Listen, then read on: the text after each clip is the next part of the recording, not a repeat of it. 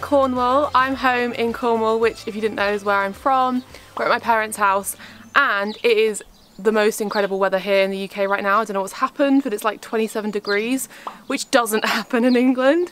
And I thought I should do a video all about vegan barbecues because we're having a barbecue tonight and it's going to be all vegan and I'm going to be creating loads of recipes for it in this video because I think when you turn vegan it can be a bit daunting or kind of scary thinking how am I going to go to barbecues in the summer? Well not scary but you kind of worry about what am I going to eat at a vegan at a barbecue that will be vegan and that won't seem strange other than just like vegetables or corn on the cob. So there's so many things that you can make and I'm going to show you them in today's video so that if you are in England and you're enjoying this sunshine you can have a vegan barbecue or you can bring a really delicious vegan dish to a barbecue with your friends who aren't vegan. So let's get in straight into the video and all the recipes. Yay!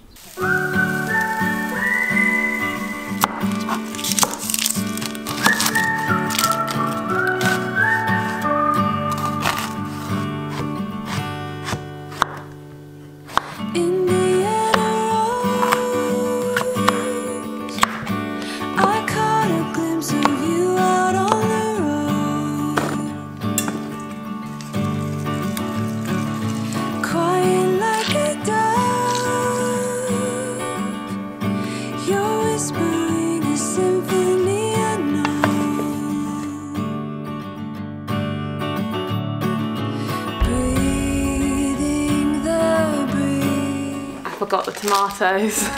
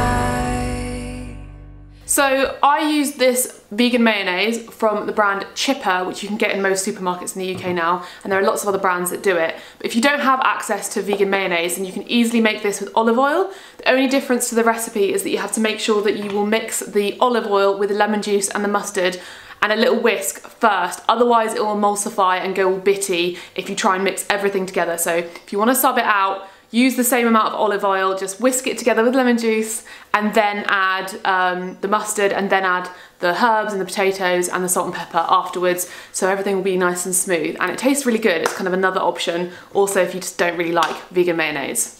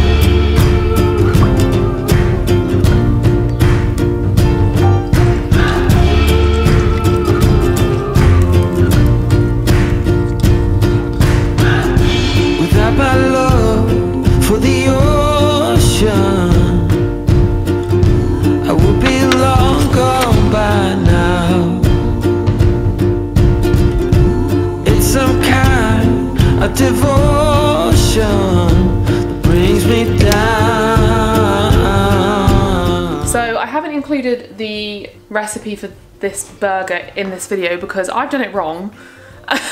I blended it and you're supposed to sort of mix it together with your hands. I just wasn't thinking. I'll link the video where I show you actually how to do it below as well as the um, website link, the recipe on my website. So yeah, um, everyone makes mistakes and it looks all weird and blended and it's a bit wet, but we'll see how it works out. I've had to add some extra bread in there to make it a bit less goopy, but hey ho.